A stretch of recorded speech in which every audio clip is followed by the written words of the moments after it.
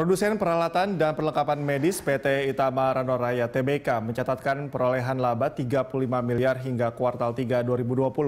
Raihan itu naik 31,8 persen jika dibandingkan periode yang sama tahun lalu.